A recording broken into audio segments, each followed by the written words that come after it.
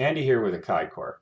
Welcome back. Today we're going to continue on with the cross section of an induction motor. We left off with this image showing where the voltages were on induction motor if we grounded the case. The case itself is grounded, so is the stator, but the actual rotor and shaft are indeterminate in voltage, as is the inner race of the bearings and the bearings themselves. So let's continue on from there and uh, get started.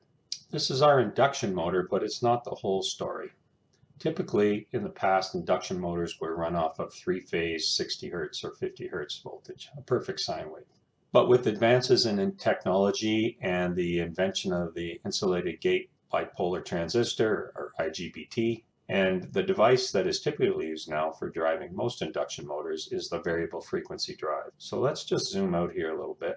Let's take a look at how our motor actually inter interacts with a variable frequency drive. And to do that, we need to talk a little bit about what a variable frequency drive is and how it works. All right, so we've zoomed out a bit. We've got our electric motor here, our induction motor, and now we're going to drive it.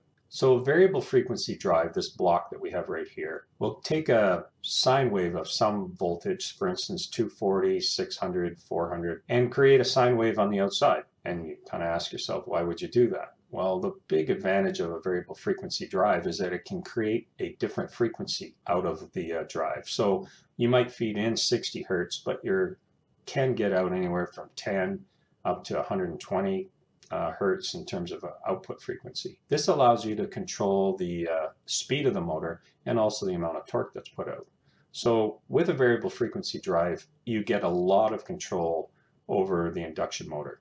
And this has opened up a whole raft of applications. So for instance, uh, fans that need to run at a constant speed or need to slow down when they uh, when they don't have as much uh, load to move. You'll find them all through electric vehicles, water pumps, slow startup motors, so you're not actually putting a whole bunch of torque out at once, and so you bring these things up slowly so ramp up and ramp down speeds. So they're a big deal, and uh, they've revolutionized the induction motor industry and motors, the motor industry in general. So let's take a look quickly at what's inside one. Inside a variable frequency drive, we'll take our sine wave and rectify it, give us a rectified uh, sine wave. We will filter that so that we end up with a very high DC voltage. And then with a microcontroller, and our IGBTs, and there are other uh, silicone devices now that are being used, we chop up this DC voltage into very small spikes. And if we put one spike with some spacing in between it, then we're only creating a lower voltage. And as we increase the duty cycle, we create more of that sine wave and then fall off. And we do that both on the positive half of the cycle and the negative half of the cycle. But basically, we pulse width modulate this DC voltage out um, so that we can create a pseudo sine wave. And that's an important consideration with our electric motor because when you create a pseudo sine wave, you're creating a lot of these very high frequency spikes um, that are being applied to the uh, stator windings. Now that's a really simplified description of a variable frequency drive, but the important part to remember out of this is that we're taking nice looking sine wave and turning it into a rather chopped up ugly looking sine wave and we're going to feed that into our motor. So now let's uh, put our variable frequency drive away and go back to our motor. All right, we have our motor back front and center. So now let's talk about what happens when we feed uh, variable frequency drive voltages uh, into this motor. The first thing that happens is we can create capacitive coupling and eddy currents induced into the rotor. So let's talk a little bit about that. Now, depending upon the geometry of the motor and how the VFD is driving the load on the motor, we can induce eddy currents into the rotor on this motor. Now, the laminations go a long way to reducing that, but still, we are able to do, introduce some eddy currents into the actual rotor. So when eddy currents are introduced into the rotor, you can think of them as a small battery stacked on top of each other. Each one of those laminations has a little battery attached to it. And those currents add up and they want to uh, circulate through that rotor. So they need a path to leave the rotor and they need a path to come back in. Typically, eddy currents in motors happen in larger motors. We're talking 200 horsepower and up. But depending upon geometry and configuration of the motor, it can happen in lower lower horsepower motors also. The other phenomenon that occurs here is that we end up with capacitive coupling between the stator and the rotor. This is because we are hitting the stator windings with a very fast rising waveform. And a fast rising waveform will tend to couple a voltage onto the rotor. And of course, remember the rotor is an insulated item, so whatever ends up being coupled onto there stays on there. The other phenomena that occurs on an induction motor when we're using VFDs is capacitive coupling of voltages from the stator onto the rotor. When we're using a VFD drive, we're ending up putting a very fast rise time voltage onto the stator windings. This can have the effect of capacitively coupling a voltage onto the rotor.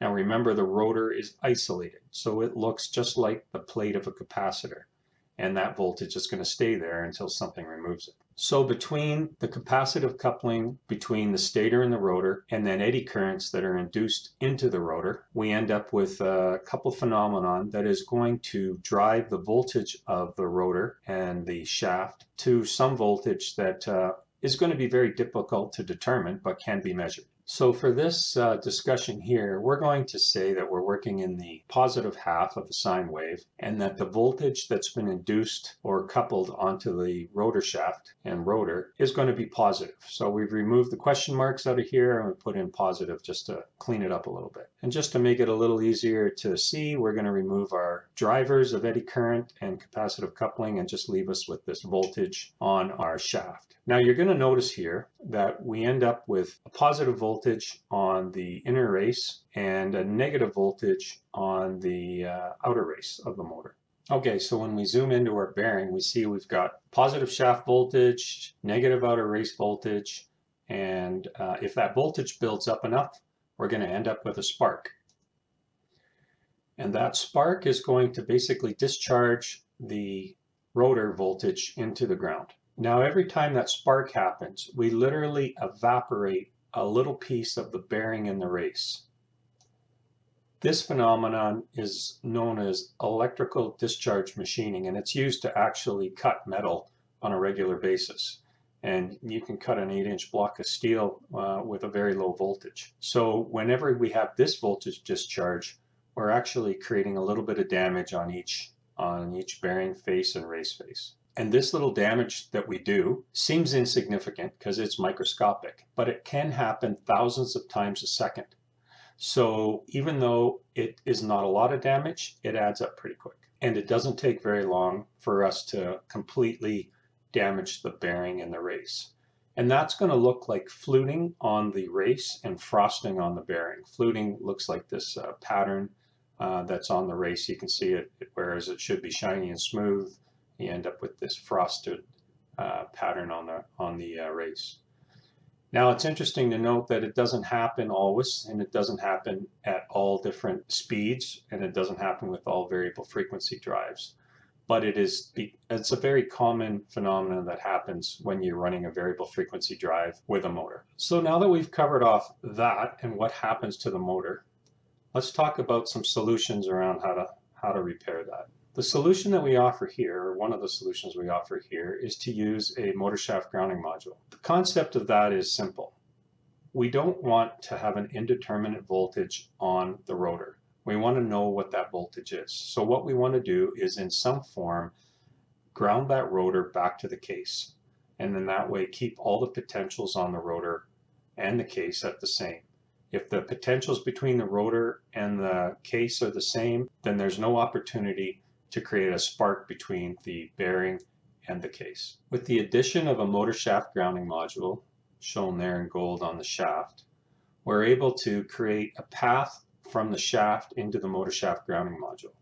Now you'll notice that the motor shaft grounding module is standing away from the uh, thicker part of the shaft.